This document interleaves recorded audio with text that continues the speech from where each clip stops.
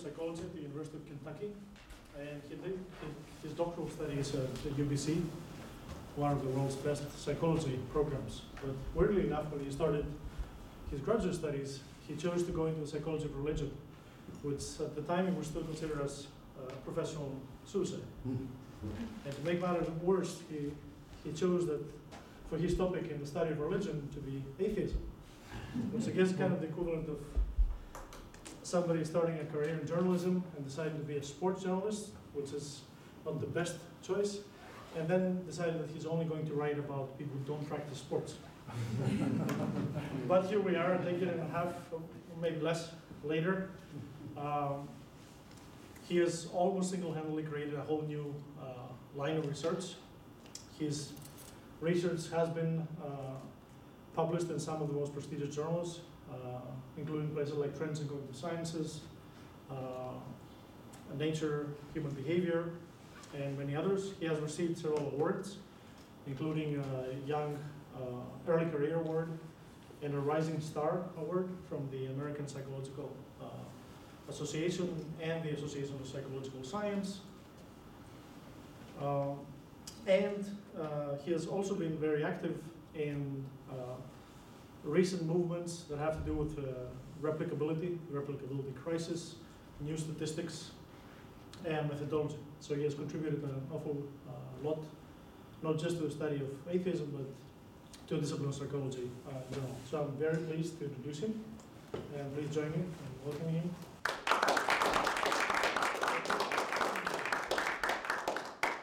Well, yeah, thanks for having me and thanks for the generous introduction. Um, yeah, speaking of studying a weird topic, when I was on the job market, actually, a bunch of the places where I'd interview, people would say, well, why are you applying to jobs in the psychology departments? And I'd kind of respond, like, you guys are the ones who invited me out for the interview, so why do I have to justify my existence? Um, so today I'm going to be talking a lot about uh, work on atheists. And so I like starting out with this slide where we have Bosch's painting with the seven deadly sins, and then we have Richard Dawkins cackling with glee in the middle. Um, and there's a, a pretty bad, like highbrow, lowbrow pun built into this. I'll let you stew on that and see if anybody can figure it out. And if not, I'll, I'll fill you in at the end. It's like a bad joke, so don't get your hopes too far up on that one. Um, so now you might be looking at me saying, all right, who's this guy? Uh, what is he thinking about? Why do we care what he's saying? Um, so I'll rewind and give you like the quick Cliff Notes version of my academic history. Uh, so I attended, I, I did my undergraduate studies at the University of Denver, um, and I actually started out as a biology student um, and kind of fell into psychology through happenstance. And my research as an undergrad had nothing to do with religion or, or any of my other real interests. Uh, here I am, I was in a lab where we studied visual attention. Uh, so we were creating stimulus sets to see if people can shift their visual attention around to track people's uh. So I got to dress up in this little ninja suit. Um, but I wasn't really into this. I spent most of my time thinking about uh, Darwin and his thoughts about evolution and natural selection. Um, my heart's always kind of been in evolutionary biology. I ended up like a couple classes short of getting a biology major because I got lazy at the end and stuck with psych.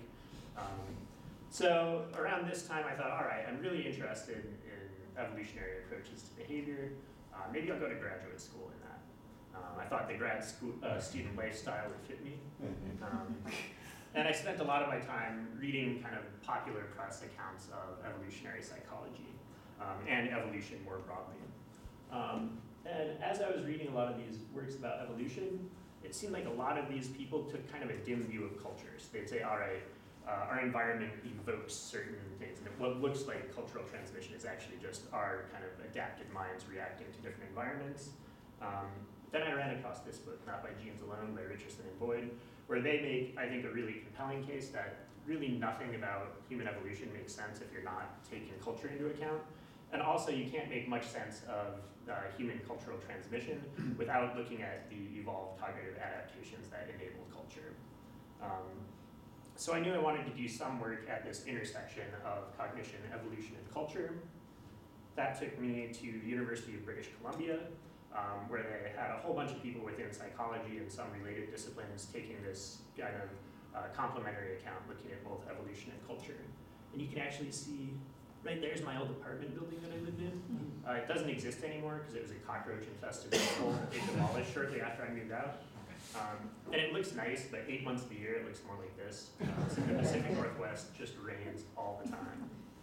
Um, so I knew I wanted to study something at this intersection of cognition, evolution, and culture, what specific topic should I get into? Um, and really, I had always had a passing casual interest in religion.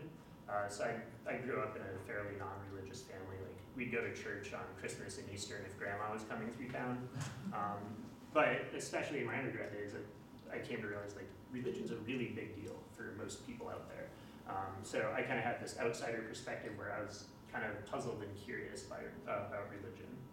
And you know, it's not just a contemporary phenomenon. As far as we can tell, every known culture has had belief in various supernatural agents. And these aren't beliefs that people hold idly. Uh, so people are willing to engage in various costly and painful rituals to prove their faith. Um, but at the same time, religion is it's not for everyone. Uh, so on Sunday morning, when a bunch of people are lining up to take communion, we have some people with other beverages on their minds. Um, so if, if you kind of slice and dice the numbers to look at what are the most common religious groups out there, uh, Christianity is the largest religious group worldwide if you add the various sects together. Then Islam, then Hinduism, and by some accounts, the fourth largest group is various uh, stripes of non-believers. Um, so this, I found this to be really interesting. That um, most people are religious, but at the same time, there's a large and potentially growing number of non-religious people in the world. And it seems like if we're going to come up with a good comprehensive account of human nature, yeah, you've got to include some something about religion in there. But if you want to have a comprehensive account of religion, you need to account for both belief and disbelief. Uh, so to sketch out my broad research program, um, I want to figure out what's going on at a cognitive, cultural, and motivational level that motivates some people to uh, be religious believers and lots of people to not be religious believers. So basically, why do we have atheists? Um, and then I also study the consequences of either belief or disbelief.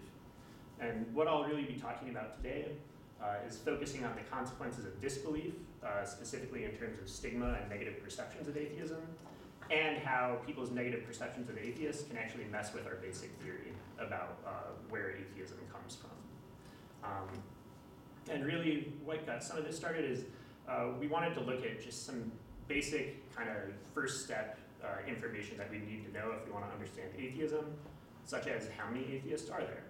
Uh, so sociologist Phil Zuckerman, he's estimated that there might be 500 to 700 million atheists in the world. He does this by looking at various large-scale surveys and census data, uh, but it's really messy because different countries don't ask the same question in the same ways. Uh, so he kind of has this real big apples and oranges problem. How, how do you tell who the atheists are? Um, I suspect his 500 to 700 million estimate is far on the low end. Um, so if we want to get past this apples and oranges question where different countries measure it in different ways, it might be worthwhile to say, all right, let's let's just look within one country. So here in the U.S., uh, we have polling firms like Pew and Gallup, where they've been running polls for decades, uh, trying to assess people's religious beliefs. So any guesses? What percentage of Americans are atheists? Any guesses? Four. Five, four, Twenty. 20? Cool. Let's see who's right. Um, it turns out the answer you get to that question really depends on how you're measuring it and how you're asking. Uh, so Pew, for instance, uh, they give people like a menu of different religious affiliations. So are you Catholic? Are you Baptist? Are you this? Are you that? Are you atheist? Are you agnostic? Are you spiritual but not religious? Um, these ones, right around three or four percent of people actually will self-identify with the atheist tag. Um, that's not the only way you can measure this. So instead of seeing if people check the atheist box, you could take more of a definitional approach and just ask people, do you believe in God, yes or no? Uh, the people who don't believe in God, by definition, are atheists, regardless of whether or not they'd identify themselves as atheists. Uh, it turns out around 11% of people in these polls tend to say they don't believe in God. Um, what's interesting, Gallup, in uh, some versions of their survey, they'll ask people, do you believe in God? Yes, no. Other versions, they'll say, do you believe in God or some form of higher power? Yes or no.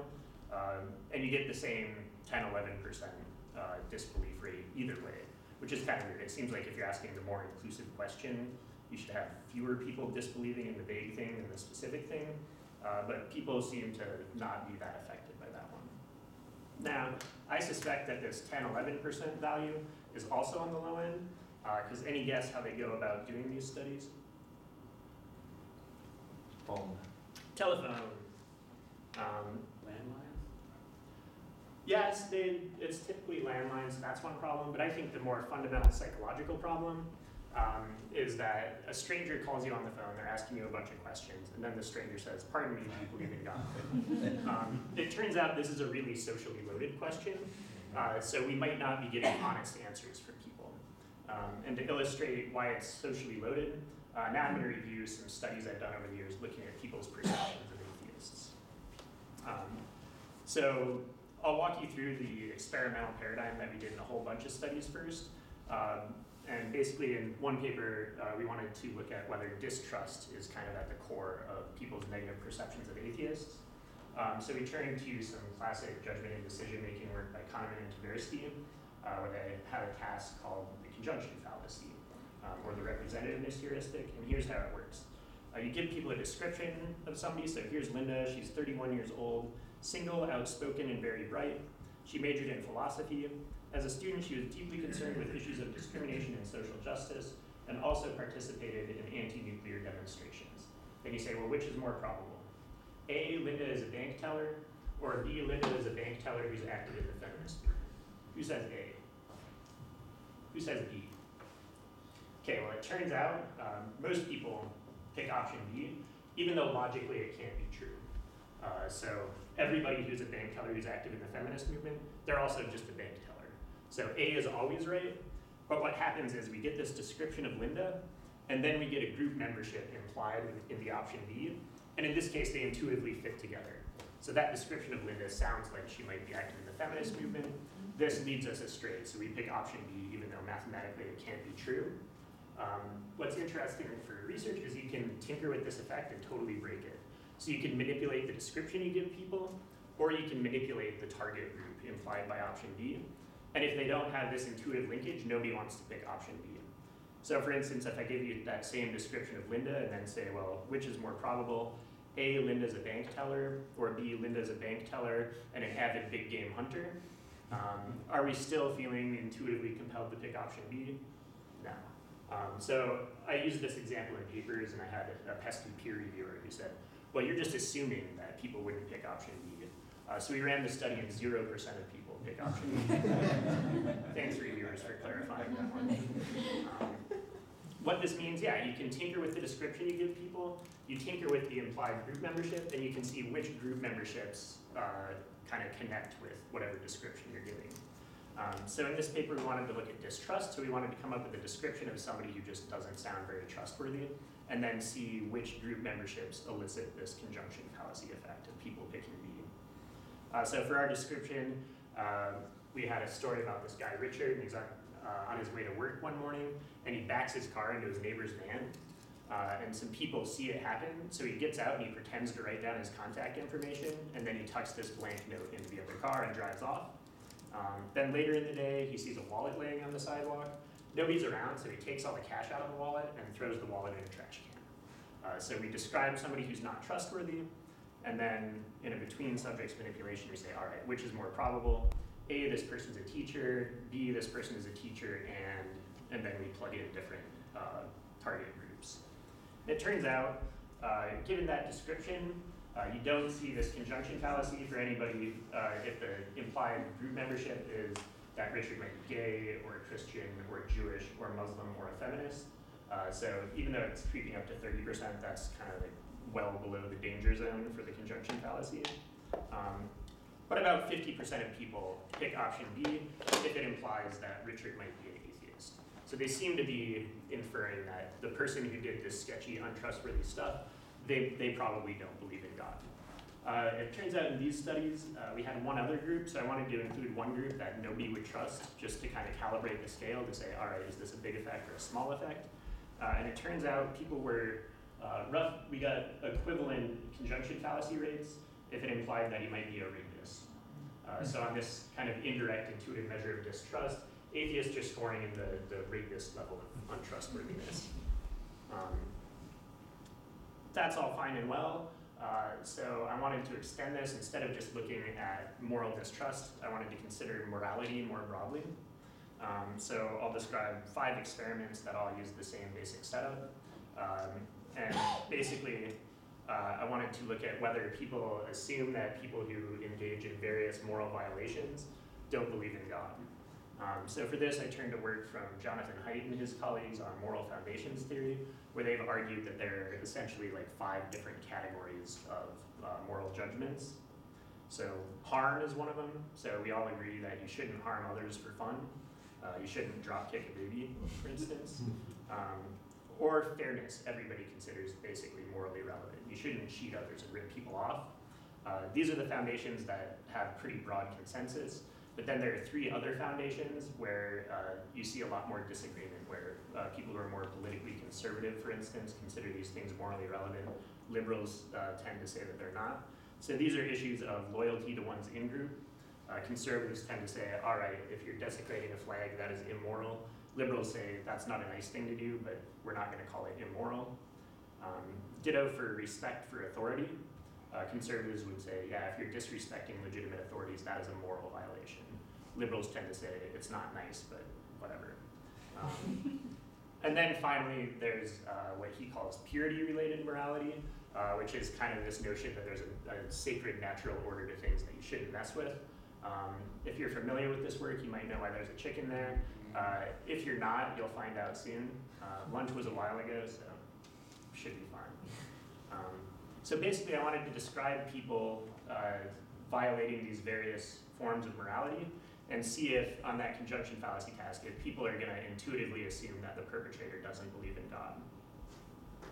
So for harm, um, I gave people a description of this guy, Russell, who he's riding the bus on the way home from work, and an obese woman gets on the bus, and instead of giving up his seat for her, he ridicules her about her appearance. Uh, and then he gets off the bus, and a stray dog comes up to him begging for food, and he kicks it in the head really hard. Um, so there's our harm violation. For fairness, I described this guy, Brad, who, um, uh, when he was moving into a new apartment, his friend helped him move, and then a couple weeks later, she was moving into a new apartment and called to see if he'd reciprocate and help her out, and he ignored her calls. Uh, and he also likes to hang out at the bar where there's a, a cash poker game, and if he's playing with people he doesn't know, he cheats so he can take their money. Uh, so he's violating our fairness morality. Um, for loyalty to the in-group, I described Leslie, who's American, but she is traveling in Europe and she pretends to be Canadian. Um, and the Olympics are on that year, and she roots against the US Olympic team. This causes some friction with her family, so she cuts off all ties to her family for a year. Uh, so she's turning against country and family. Um, conservatives say that's immoral, liberals say just not very nice. Um, for authority, uh, we describe Drew, who doesn't like her boss, and when she's at work, whenever her boss turns around, she flips him off. Um, and she's walking home one day, and police are setting up some barricades for a parade, and they nicely ask her to find a different way home, and she tells them to fuck off and goes right through the barricade. Um, and then for purity, this one comes from Jonathan Haidt. Uh, we described Catherine, who's a, a med tech in a pathology lab, and they're working with this cadaver. They're done with it, so it's going to be cremated the next day. And she thinks, you know what, that's a waste of perfectly good meat. Uh, so she cuts off some meat from the cadaver, goes home, cooks it, and eats it. So cannibalism, this is a purity violation. Um, for each of these, then we'd say, all right, well, which is more probable? This character is a teacher, or this character is a teacher, and and then we'd manipulate it so they either imply that the perpetrator is an atheist or the perpetrator is gay.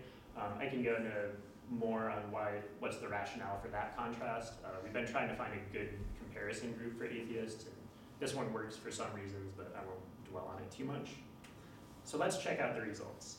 Um, again, the y-axis is just the percent of people picking option B for that group. And it turns out they think that the puppy kicker might be an atheist, and the poker cheat might be an atheist, or the uh, Canadian feigning turncoat is an atheist, or that our scofflaw might be an atheist, or even that cannibalism signals that the perpetrator is probably an atheist. Um, so that seems to bear out this general prediction, which is to the extent that people are viewing religion as a necessary component of morality, um, then we might infer that atheists are more capable than believers of various immoral actions. Uh, I wanted to extend this to look at other comparison groups aside from the atheist versus gay contrast, and also other immoral actions, um, in part just because these studies are fun to run. Uh, so for our next moral violation, um, we had a description of a brother and sister who were backpacking, they're on vacation and whatnot, and one night they decided it'd be interesting if they tried making love to each other. Um, and they use all different kinds of birth control, so we don't have to worry about any of that nasty business. Uh, they don't tell anyone about it, and they feel like it brought them closer together. They, they never do it again. So, uh, who thinks that's a little bit immoral? Who does it make anybody squirm, even though you wouldn't say the immoral bit? Yeah. Um, that's kind of the classic Jonathan Haidt finding. Is a lot of people we, we feel like there's something wrong about this, even if we can't articulate exactly what the kind of utilitarian consequences are. Um, and then with the same setup between participants, we manipulated which target group showed up in the option B. Um, and so we wanted to compare it to different religious groups. It turns out for our participants, consensual incest didn't tip people off that they might be Buddhist or Christian or Hindu or Jewish or Muslim. Um, but again, about 50% of people pick option B uh, if it implies that they're atheist. And I should mention in these studies, uh, we tend not to ever use the word atheist because that sounds like kind of a dirty word. We just say, all right, this person doesn't believe in God. Um, all right, now we can turn to the chicken. Uh, this is another good purity uh, violation. So this one we describe uh, Jack. He's on his way home from work. He needs something for dinner, so he stops at the butcher shop and picks up a nice chicken. Uh, and then he gets home and has sex with the chicken carcass, and then cleans it out and cooks it and eats it alongside a nice glass of Chardonnay. Um, then we say, well, which is more probable? A, Jack is a doctor. B, Jack is a doctor who, whatever. So now we're comparing two different ethnic groups.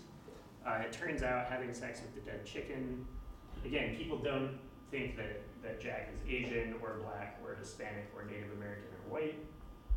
But again, uh, people overwhelmingly think that he might be an atheist. Um, for the final one, uh, so if you were a strict utilitarian in terms of your uh, uh, views on morality, you'd say that none of these scenarios are all that bad. Uh, we don't like kicking the puppy, but for instance, nobody's harmed in the, the chicken lover example. Uh, so I wanted one example that basically everybody would agree, yes, this is immoral. Um, so we described this guy Dax, where when he's a kid, uh, he enjoys hurting animals, and so he like tortures stray cats around the neighborhood. And as he grows older, he doesn't get as much thrill out of hurting animals, and he starts hurting people. Um, and so he abducts and kills five homeless people, and their dismembered bodies are buried in his basement. Um, so a pretty severe moral violation. Then we say, well, which is more probable? A, this person is a teacher. B, this person is a teacher, and and then we inserted the different religious groups. Um, again, the serial killer example didn't evoke the conjunction fallacy for Buddhist, Christian, Hindu, Jewish, or Muslim uh, targets. But again, they intuitively think that the serial killer might be an atheist. So this somewhat matches with kind of the famous Dostoevsky quote of without God in the future life, it means everything is permitted now, one can do anything. And at least according to my participants, they seem to think that, yeah, if you don't believe in God, you're capable of all sorts of uh, moral violations. So I haven't mentioned who the participants were in any of these studies. Um, so I'm in Kentucky, which is strongly religious. Turns out these aren't my super religious Kentucky people. Uh, so you might be saying, who are these people who I'm studying, uh, who think that various kind of morally evil people are atheists?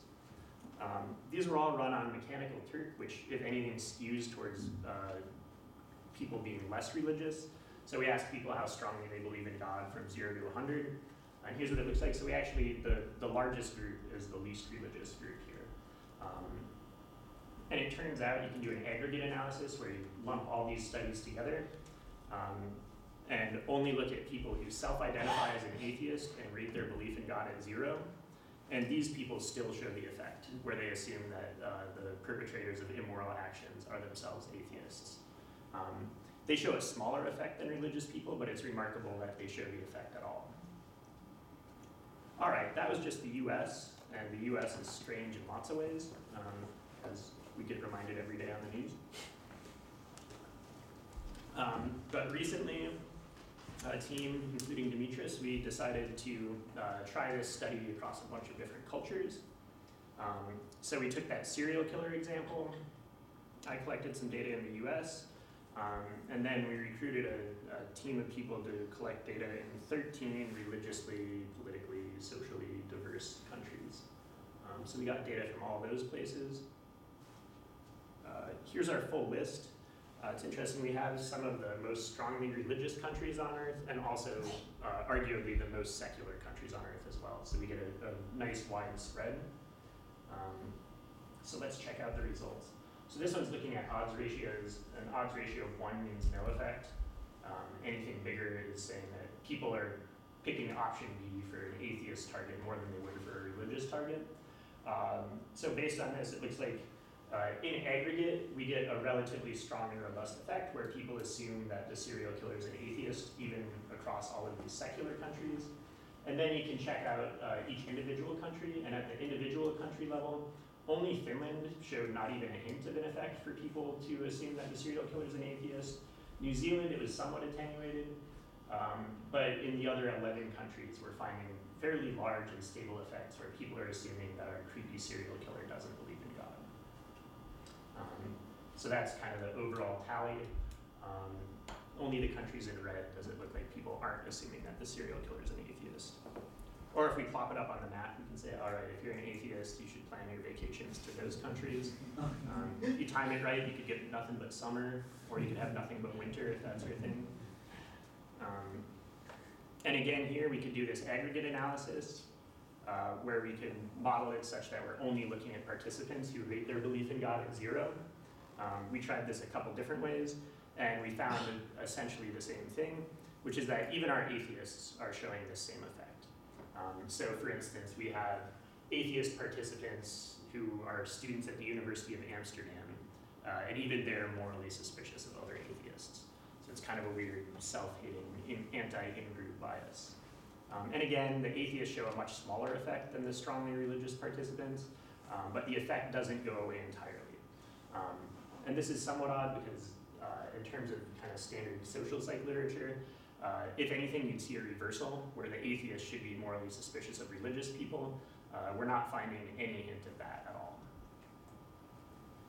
Um, so I'll show you some other new fun stuff, uh, just kind of undermining how heavy stigmatization of religious non-belief is. Um, so this project, we called it the What Do Atheists Look Like study. Um, and yeah, this is with Hazy Brown, AMHC. She's uh, done a bunch of work, uh, not looking at religion, but using the same experimental paradigm. And we do what's called a reverse correlations procedure. Uh, so what happens is you start out with this kind of base image, and this is a morphed face um, a black man, a white man, a black woman, and a white woman. So you get this kind of generic face. And then you create a couple of hundred different random degraded images where you just add visual noise to it. So that's the ones on the right. And then what you do is um, you show people two of these random images, and then you say, all right, which one looks more like somebody who doesn't believe in God? And so even though, like, imagine if you're a participant, you don't have much to go on, uh, but people go through a couple hundred trials and say, well, that's the one that doesn't, that looks like it doesn't believe in God. That's the one that looks like it doesn't believe in God. And then you can uh, morph together all the faces that they chose for the atheist target, or you can morph together all the faces that they chose if we ask them to pick which one looks like they do believe in God. And so you get these aggregate images of kind of what people's underlying mental representation is of atheists and believers. and here's what the faces look like. So take a guess. Is that the believer face or the atheist face? Yeah, because here's the atheist. Yeah, it's pretty good. Um, and then we got another group of participants and had them rate the faces. And it turns out they think that the atheist face uh, is less religious, so that's kind of our manipulation check, but also less trustworthy, less moral, less competent, more cold, more hostile, more inhuman, lazier, less likable, less happy, less attractive, more male, interestingly, we're not sure what's going on there, and also more likely to be African American. Um, I suspect that the African American effect is just kind of a general like anti-halo effect where they're like, okay, I just don't like these people, so I'm gonna give them everything negative. and since these are participants in the US, unfortunately, if you have them pick a negative group, they'll say, oh yeah, they're probably more African American. Um, so this then we can kind of come full circle and consider what happens now when the stranger calls you on the phone and they say, pardon me, do you believe in God? Well, do you want to say, no, I don't believe in God, and you're signing up to be part of a group that people think might be serial killers or that have these weird, creepy faces? Um, no. So it turns out people might be motivated to not out themselves as an atheist. um, so one interesting thing is if you turn away from telephone survey and try to collect a matched nationally representative sample, yeah, it's a bit tricky because you have issues of calling people on landlines versus not, their demographic differences. But if you do a nationally representative sample uh, where people are responding on computers, uh, it turns out that it's like 17% of people now will say that they don't believe in God if they just don't have to verbalize that to somebody. and that one, I think I have three separate nationally representative samples uh, done online, and it's always 17 to 20 percent say they don't believe in God, um, which is, you know, potentially almost double what, what Gallup is saying. I suspect even that number is too low, though. Um, so we've done some studies now where we wanted to come up with an indirect measurement uh, where people could identify themselves as an atheist without having to directly tell us that. Um, and so we looked around through the literature in sociology and criminology to find tasks for uh, estimating the prevalence of something that people are going to be reluctant to admit to. Um, so, for instance, they use this task trying to estimate the prevalence of drug use. Uh, you can't just ask people, hey, do you smoke crack? And expect that you'll get an honest answer to that. Um, or it's been used for problem drinking, uh, perpetration of date rape, uh, saw one example where they used this task to estimate the prevalence of ivory poaching in African game reserves um, or perpetration of anti-gay hate crimes. And so they used this task called the unmatched count technique, and I'll illustrate how that works. Basically, you get a whole bunch of people, and you randomly split them into two groups, and you give them a count task. You say, all right, I'm going to give you a list of statements. Don't tell me which of these statements are true for you, just tell me overall how many of them are true for you. Uh, so we have the baseline group where they just get a boring uh, list of statements. So how many of these are true for you? I own a unicycle. My favorite color is red. I like hot dogs. I have pets. I brush my teeth daily. Um, everybody just gives me a number. And then people in the more sensitive condition, they get the same list, only now you add the item that you care about.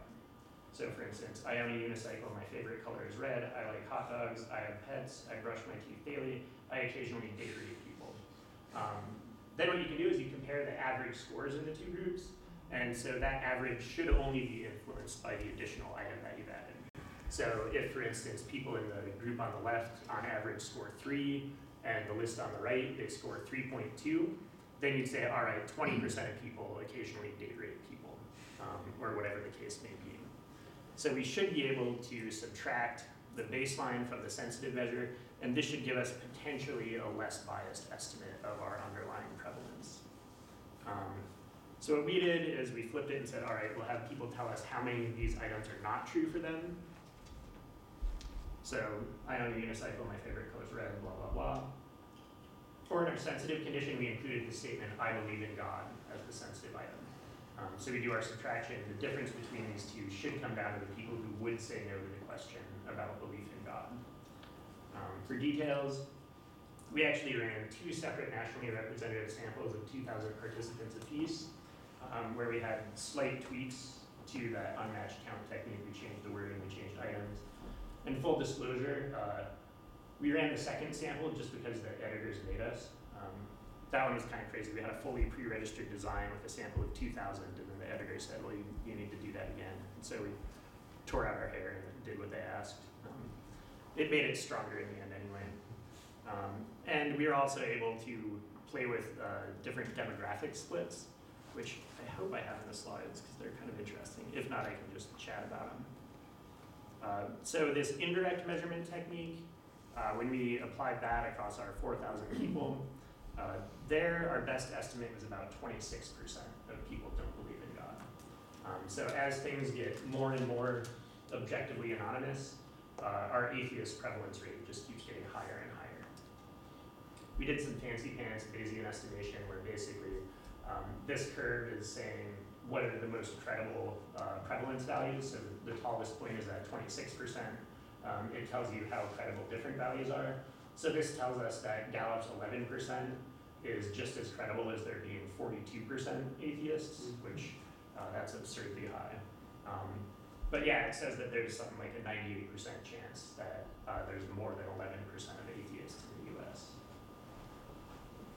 Um, now, this can be really problematic for the cognitive science of religion um, because as people have been developing theories about what makes religion tick over the years, um, they've basically started with the assumption that atheism is uh, really rare and it might even be cognitively effortful to kind of maintain atheism. But if it turns out that atheism is a lot more common and people are trying to hide their atheism, this means we might need to rethink some of the theories that predict that atheism is super. Um, so yeah, I, I like starting with this little graph where it looks all tidy. I just have these three questions. Uh, the longer I do it though, the more I realize it, it's actually somewhat like this. Um, cool, and I blew through my slides today. That's the end, so I need to thank my lab. Um, yeah. Does anybody figure out the joke? It's like a really niche joke for people who are into artists, and then Justin Timberlake's occasional appearances on Saturday Night Live. It's a dick in a Bosch. That's pretty bad, I know. So I can take questions now, if you have them. Sure. Yeah, we're looking at all at the differences between uh, atheists who grew up atheists and those that actually had to put some effort into becoming atheists. Yeah, so that's one, uh, we actually just got a big data set in of three thousand atheists in the US, and hopefully we can tease apart, you'd really expect these people should look psychologically different, whether they grew up religious and then kind of opted out of religion, uh, versus, you know, if they grew up in Denmark and were just never religious in the first place. Um, presumably we'll find some differences there. We're just starting to dig into it though. Um, I should mention too, thought I had a slide in with some of the demographics uh, splits. Um, one of the most interesting things we got there is we could look at uh, how old people were to look at kind of age cohorts. So something that's really common in sociological work on religion is that uh, millennials and younger generations look way less religious than say baby boomers. Um, when we did that with our indirect measurement, uh, so on self-reports we found the exact same pattern where millennials uh, they report much higher atheism rates than uh, say baby boomers. On the indirect measurement, they were almost identical.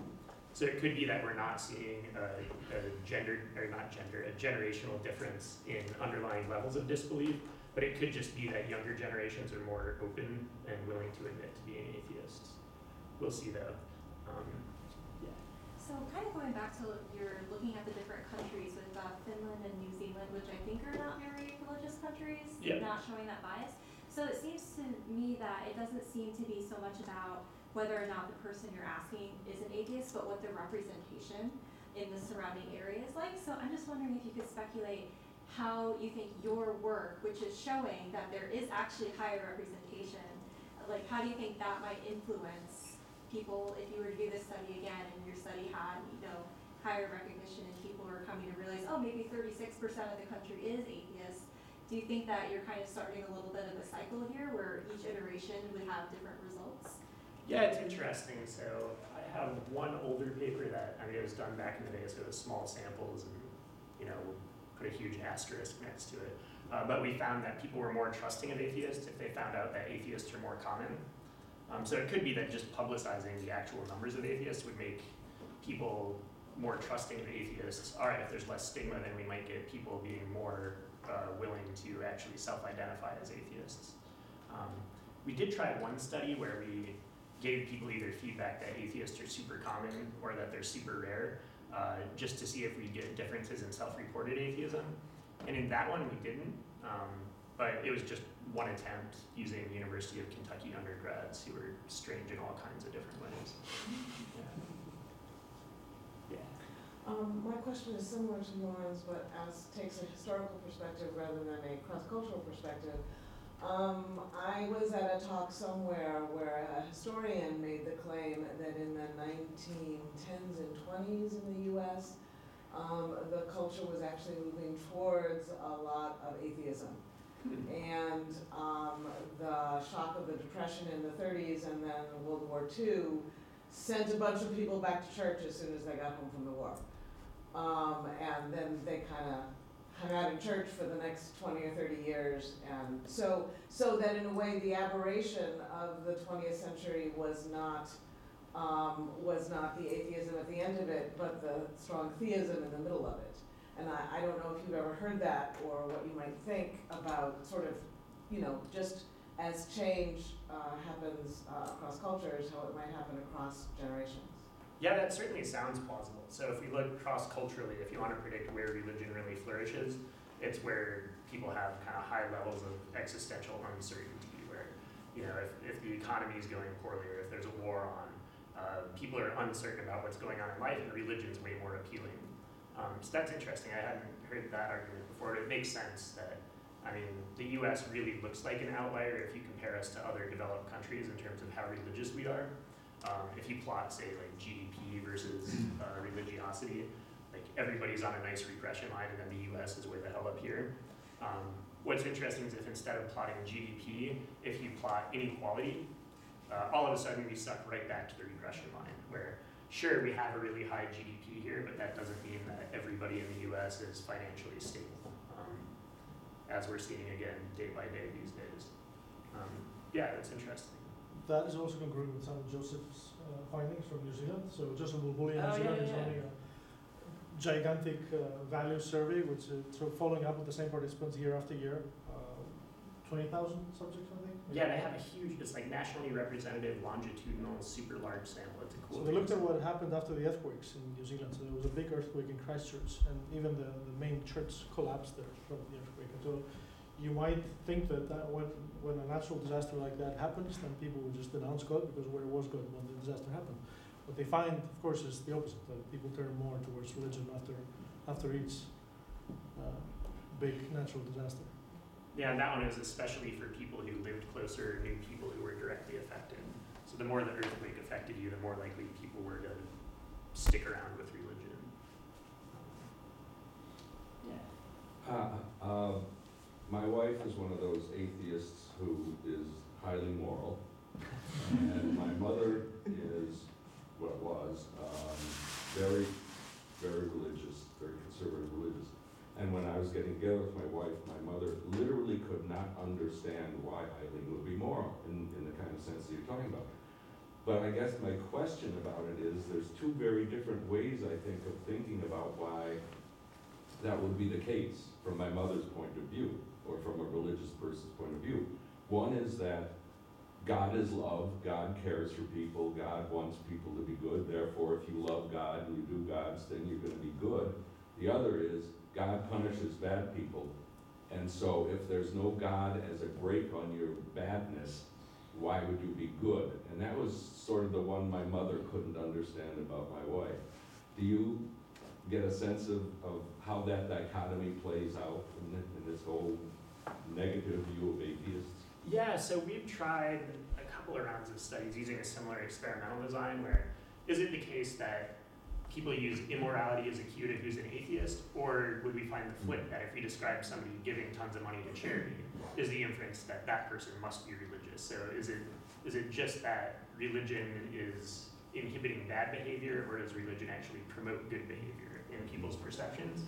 And it looks like uh, it's the former. So people definitely think that without religion, you might do terrible bad stuff.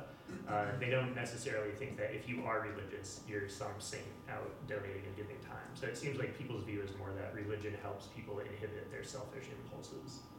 Just like my mother. Yeah, exactly. and of one, let's lock down. Yeah.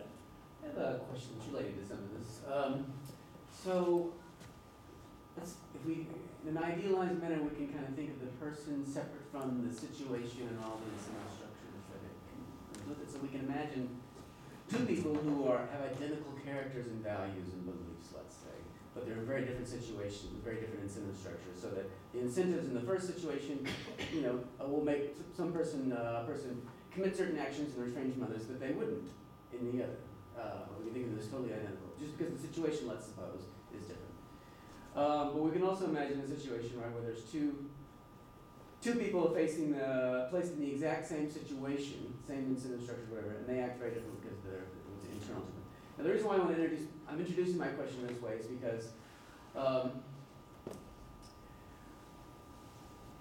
uh, with atheists, there is an important incentive that's taken away that he sort of mentioned. So, uh, the first thesis of Ara Norenzayan's big God book with whom you've collaborated Yeah. is uh, watched people are nice people. So if you think God is always, always, always watching, there's no human around, but God is watching, and will punish perhaps. Um, so you've got an incentive to sort of not steal people's stuff or whatever it is. Take that away uh, eh, for the atheist, and now they maybe they'll steal your stuff. Uh, maybe. Okay. So, so here's my question. Leave it to the question is this. Um, one perspective is that people in all of your studies are just thinking of atheists as being more willing to commit immorality, simply because, well, there's there's difference in their subjective perception of their incentive structure. They don't believe there's a punishing God watching, and other people believe there's a punishing God watching. That's one possibility. And my question is, is that enough to explain all your data? And perhaps not, because I mean, the things that people are saying about atheists are so strong and so bad. Yeah. Uh, it sounds like they're thinking to themselves, even if somehow the incentive st- structure, the the set of incentives facing the atheist were the same as somebody else, these people are evil, child, something. They do they do bad things.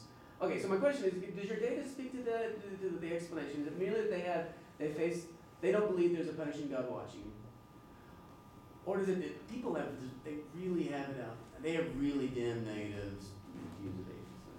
So I think there's two things going on for why people don't trust atheists. One of them is this, you know, they don't think that God's watching. So if I take a religious person and an atheist, all right, they both know that you're not supposed to break the law because the police will get you. Uh, they don't want to let their moms down. But the religious person always has one more reason to not engage in bad behavior. Um, I think the other thing that goes into it is that uh, people's religious beliefs are somewhat diagnostic about other norms that they might hold. So uh, let's say I'm interacting with somebody who's Jewish. Even if I'm not Jewish, I can guess some things about their behavior. Whereas atheism, it's kind of a hollow category, so I can't infer much else about them. So in these tasks, I describe somebody doing something bizarre and immoral, you know, having sex with a dead chicken. Um, it's not necessarily the case that I'm thinking, all right, atheists do this. Instead, the inference is the other way around. Somebody did this bad thing. Who is that person likely to be? All right, I can infer that. Well, I don't know much else about atheists. They're just kind of weird wild cards. So sure, it might be the atheist as opposed to the religious person. Also, the atheist has one less reason to not engage in immoral behavior. So I think it's both. It's interesting when I was, um, my doctoral dissertation included actually not that many of these studies. It had the first distrust ones. But one question I got is uh, somebody said, well, isn't it rational to trust atheists less? Uh, because everybody has, you know, you don't do bad stuff because of the cops, because of your mom, because of whatever else. The religious person always has one more reason. So yeah, isn't it somewhat rational if I'm trying to figure out who to trust? I'm going to trust the person who has the most reasons to not do something bad. And yeah, maybe there's something to that. I don't know if I quite answered it. Maybe not. Close Also- enough. Also, wondering, doesn't your data suggest that there's more to it than that, that these people are? But I, I guess you, can you, your answer's probably good. That's good. All right, good enough. I'm intrigued by your, your idea that atheists get the bad category because they're an empty category, or they're, um, and so I wondered, did you ever ask about Martians or Vulcans or Klingons or, you Oh, know, as extraterrestrials, especially maybe Martians because we, we don't have as many, you know, the, the Star Trek universe, we have, you know, we know what's in those. So pick a, pick an extraterrestrial that you make up and see if they look like atheists. Yeah, I know um, some people in research, they'll make up a fictitious ethnic group. They'll say like, oh, is this person a Mondrian? And they just made that up and the people, they have no category of what Mondrians do. It could be in this case that they'd say like, I don't know, maybe Mondrians have sex with dead chickens. Sure, I'll go with them. Um, or I could pick other kind of negatively defined categories. I could say, you know, which is more probable? A, this person's a teacher. B, this person is a teacher who doesn't watch hockey. All right, now I know one thing that they don't do, but I haven't filled in any positive content. It could be that we get similar effects. I doubt they'd be as pronounced, but I don't know. It'd be interesting to try, for instance, anarchists or something like that, where in this case it's another kind of inhibitory thing that they're lacking. They don't think the government is a legitimate source of control, so why would they act out of fear for what the cops can do? But we know that they've also shot people. That's true, and bombs and whatnot. so there's some, well, not evaluatively positive, but there's some content there. So you showed like Finland and what was the other country that, New Zealand was kind of on the fence. uh, can you just give us some thoughts why you think like these particular countries were so different than we are? I wish I could have a knockdown argument for why Finland and New Zealand. It's weird though, um, because we, so those are both fairly secular countries. Uh, so it'd be tempting to say, all right, it's the secular countries where you don't see these effects. But we also have some highly secular countries where you do see the effects. So by some measures, Czech Republic would be the most secular country in that whole set, and the effect shows up there. Um, you have China is in the sample where they had top-down government mandated atheism for a long time, and they seem not to like atheists. Um, so the effects certainly were stronger in cultures that are more religious, but it wasn't a, a simple like one-to-one comparison. So in a sense, the Finland data aren't surprising. It's the Czech Republic data that are surprising, and and the Netherlands data, for instance. Um, yeah, you wouldn't expect that Finns would be distrustful of atheists because they're mostly atheists. Um, I was giving a talk similar to this one time, and somebody said, "Well, let's say you're living in Finland or somewhere where most people are atheists. Well, then you should think that the serial killer is probably an atheist because everybody's probably an atheist." um, so, and that one it kind of makes sense, but it's like, all right, you only get the effect if people aren't thinking in terms of base rates. So it's like they're not using the base rate in a rational way. I don't know. Sure. Um, do you think, uh, do you think your study is able to um, differentiate also between like, are you able to be sure that people are thinking of atheists as um, people who just happen to not believe in God, and um, and then they are connecting all of the, the moral implications that would come with their cultural context to that, or how do you know that they are not um, using their own personal experience of people who have told them point blank, I do not believe in God, because I think those are really different. Oh, different. interesting. And that's, that is a socially deviant act in and of itself. So I'm thinking like, I would probably assume the majority of my friends are atheists. Um, but I don't actually know that. The only people I know who have come out and said, I don't believe in God and have been very upfront with that are people who actually, all of those individuals, I did this test with myself, have committed wrongs in my eyes, everywhere from just rudeness, sexism to um, chronic cheating on their significant others. So those people actually, I would view as, as, as deviant, and, and I think and that uh, that um, desire to make it known to others that you do something that other people that you're you know you're being socially deviant in in telling people that. Yeah. Is there it, could that possibly be? What's also interesting if people are kind of out as an atheist in a religious culture, they're already acting counternormatively in one way. So right. why wouldn't they act counternormatively in other ways? Mhm. Um, I'm trying to think. I don't think we have any data. We should include something of like how many atheists do you know, um, to see if that predicts it at all. yeah. Yeah, that's an interesting point. I don't think we have any data that can speak to that. Um, Mhm. we've tried some stuff where uh, across different studies, sometimes we say, you know, they're an atheist and we use the atheist word and then explain what it means. Sometimes we just say they don't believe in God. Um, it seems to not make that much of a difference on that one, but that's not quite getting at the same thing. Um, Yeah, I don't know, and they might not be differentiating between people who happen to not believe in God versus people who you know they don't because they told you, which I feel like those are very different things, and I'm not sure how you might get at those, but. Yeah, that would be interesting.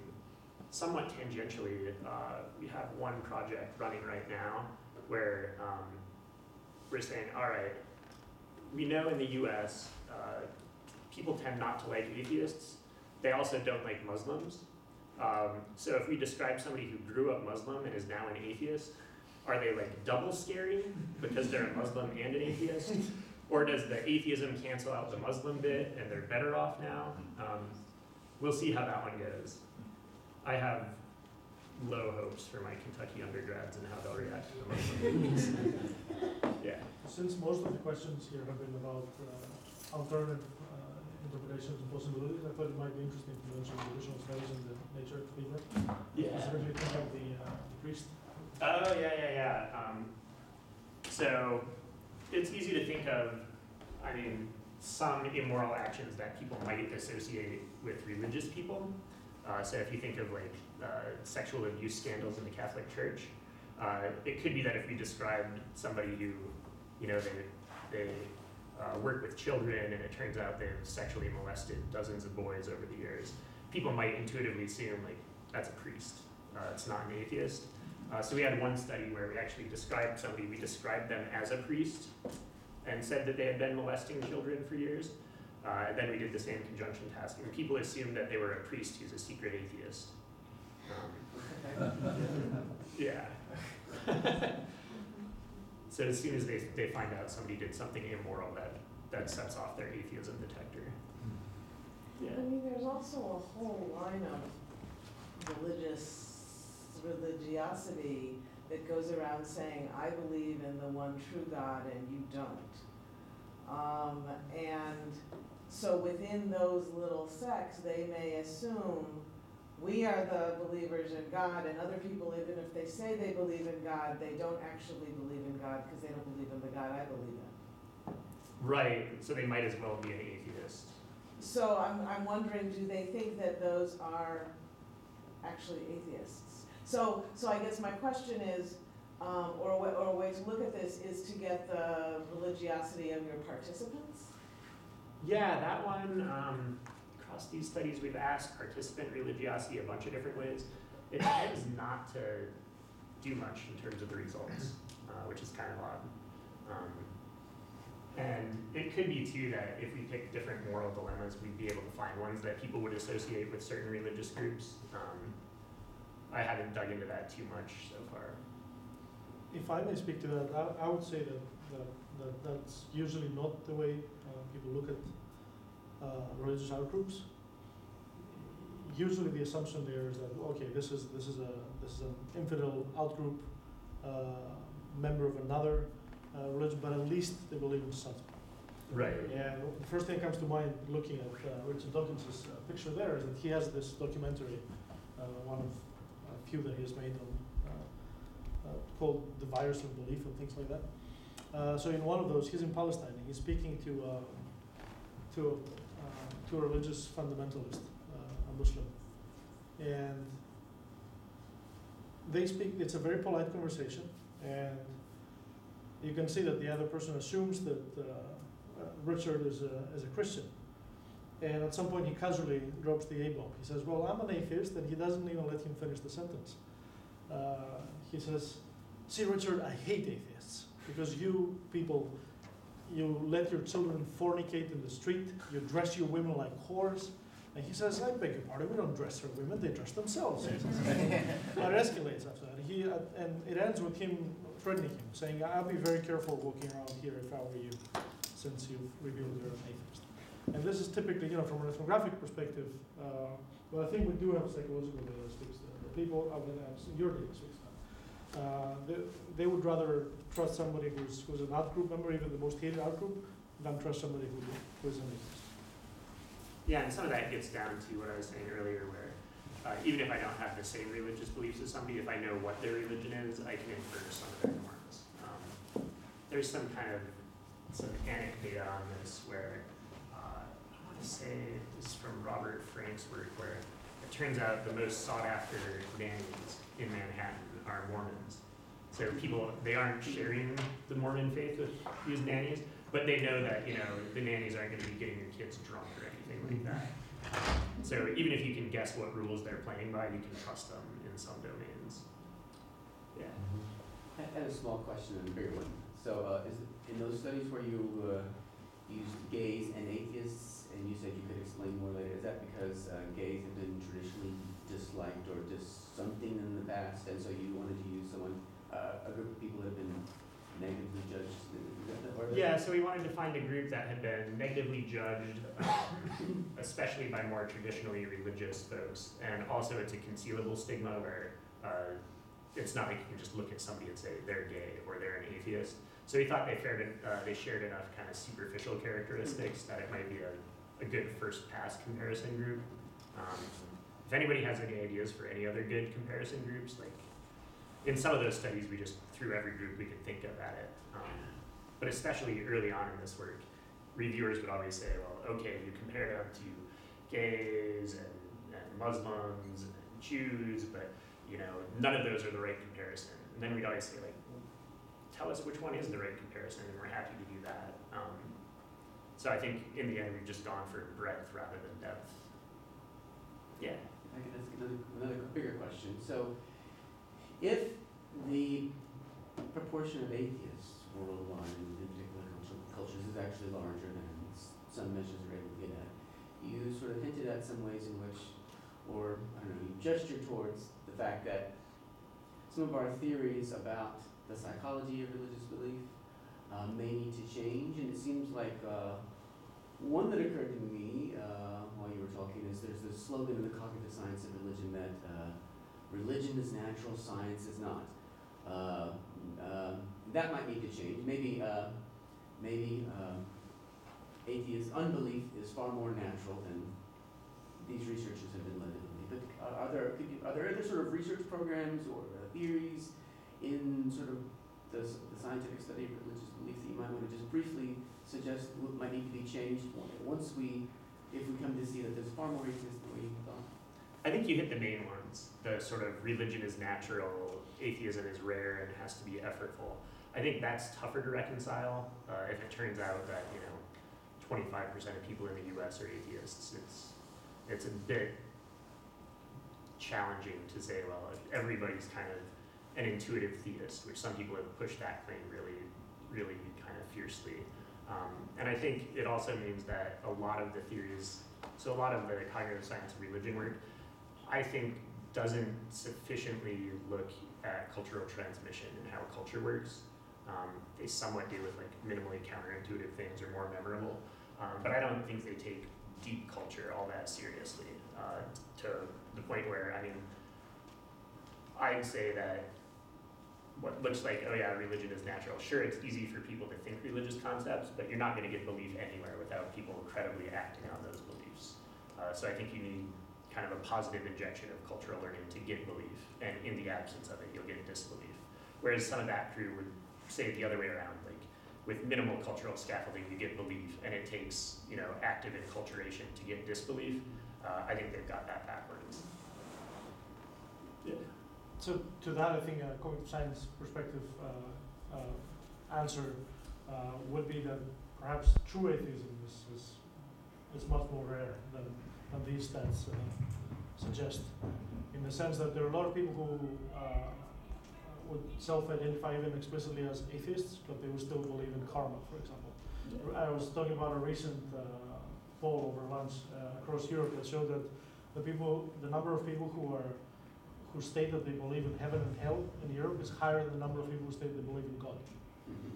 And you see, you see a lot of that. You have a lot of people who self-describe as non-religious, and having lived in the Czech Republic, uh, we would see this again and again and again, depending on how you ask the question. So, do you believe in God? No. Well, do you believe in reincarnation? Yes. So, from a cognitive science of religion perspective, belief is what's it's not just uh, subscribing to uh, to a religious organization, right, or to organize religion. It's it's about having any kind of supernatural commitments, and I think that's much more common uh, than organized religion. Yeah, and you can cast a pretty wide net with that and say like, all right, uh, some psychologists look at belief in a just world that good things happen to good people. Well, we don't have any physical mechanistic explanation for why that would be. So people endorsing that, yeah, they are endorsing some kind of spooky metaphysical belief. Um, so I think that would be the the immediate retreat point for a hardline cognitive science of religion person. They'd say, well, sure, they don't believe in God, but that doesn't mean they're a, a diehard committed naturalist, which I'd say fair enough. We have all sorts of irrational beliefs. Yeah. Do you always ask about uh, believing God, or do you sometimes ask also about uh, religious behaviors, so let's say going to church. Um, yeah, so we'll have religious behavior in there as a demographic thing. Uh, what's interesting is um, somewhat consistent with us finding that the indirect measure predicts higher levels of religious disbelief. Uh, some people have done like time use surveys uh, looking at uh, religious attendance, and I, I always forget the authors, but they concluded that if everybody in the U.S. attended churches frequently as they say they do, we'd need like twice as many churches just to fit everyone. Um, so it's really easy for people to over-report and say, yeah, I go to church every Wednesday and Sunday. And What I mean the like asking people whether they trust someone who believes in God, or just asking them to trust someone who goes to church or goes to mosque. Oh, so I had um, one study where Jonathan Haidt was actually one of my reviewers on these. He said, oh, it has nothing to do, people don't just trust atheists because atheists don't believe in God. They don't trust atheists because atheists don't belong to a moral community. And so we actually manipulated it where the person either did belong to this kind of moral community or not, and they either did believe in God or not. Um, and it was the belief in God that entirely accounted for distrust of atheists, which is kind of surprising. I was guessing that we'd get some main effects on that one. Um, but yeah, it seemed like we can flat out tell people that this person, you know, they volunteer and work with children and give money to charity and they're part of a, a moral community. And as soon as we mention they don't believe in God, all of a sudden they're morally, uh, uh, morally suspect.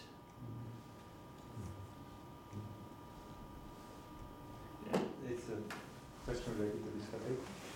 It goes back to the conjunction fallacy, and my question is how far parochial is this? So, um, if I just experience simplify what you said, you may see that uh, there is an association between atheism and normal violation. Now, the question is, who is the subject of the violation, or who is the object of the violation? So, if it's a member of, you know, some outgroup, will be also you know, will the atheism effect will be there? Will it still be there, the association, or will it be smaller? All right. And what if, and that's uh, like second part of the same question, what if the norm of our group is to actually harm the other groups? You know, so would you expect that, let's say, example by this suicide terrorism, would you expect that you would find a conjunction fallacy where that person would be, let's say, a teacher and a religious person?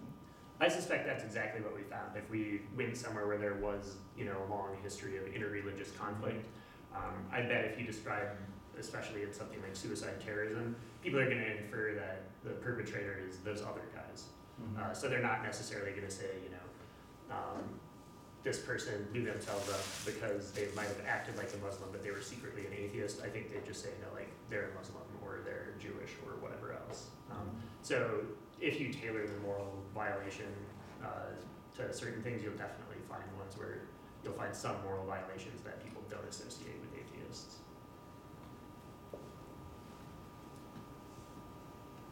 Cool. All right. Thank you all. Fantastic discussion. Thank you very much.